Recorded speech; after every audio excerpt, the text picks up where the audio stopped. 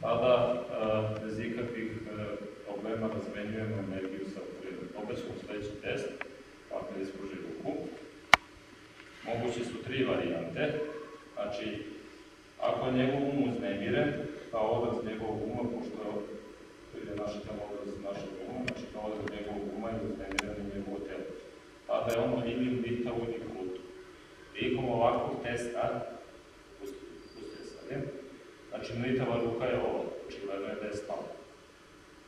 Druga varijanta je da stisne i da ne da. Krutost je također slaba kao što vidite. I sad da bi on trebao da podigne ruku i da ruka bude elastična i opuštena i da ima jako usmerenje kožnje. Ovo je malo vreme.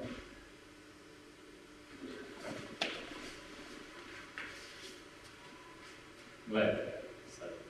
A, ako, e, prvo e, morate ruku, on je stavio ruku na pregib ovog laka da me testirate.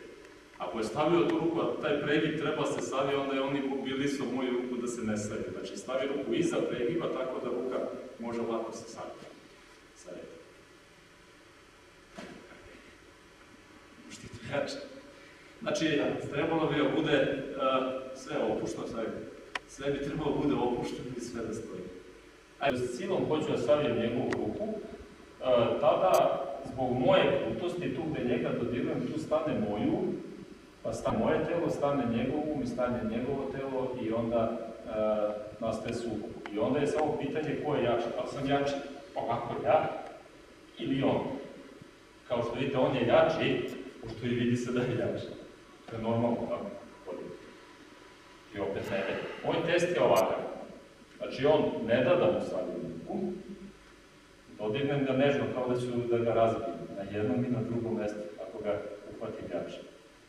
I sa usmerenjem krenem ovo da sadim. Tada se ja ne sukobljavam sa njim, bez obzira da li je on krut ili je relaksiran i tako dalje. Znači, vas, vaš test mora da bude dobar, da bi test imao sve. Ne vredi ovako jedno. Znači, ako hoću na silu, ne može. Pravite, postoje. Tako da nije neki problem da se prođe test. Međutim, sad ćemo probati ovakav test. Pošto njegovo usmerenje trebalo bude tamo, pusti me da te stavim ruku. E sad ti treba da ispraviš ruku u početnu poziciju.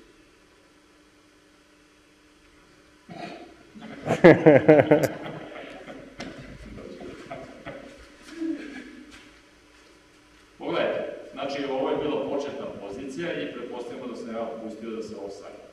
I sad, ova ruka nije toliki problem koliki je ova e, ruka problem. Ako hoću gurnem kroz tu ruku, i ne da imamo, onda ne može. Mora bi bude mnogo jači od njega da bi to mogu držati. Međutim, moje usmjerenje nije tu gdje me on dodiruje. Ako mislimo o tom mestu, ono će tu da stane moj um, pošto um pokreće telo, staći moje telo i to će opet da nastane sukup kao i malo. Moje usmjerenje je tamo. Tamo, vidite. Drži tamo, gledajte. Drži to. Tamo. Tamo. Držiš. Sad idem 20 sekunda.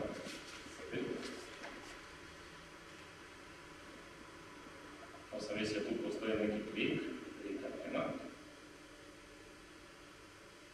On sad pokušava da uradi mehanički pokret, samo potpuno ne hoće ponovi moj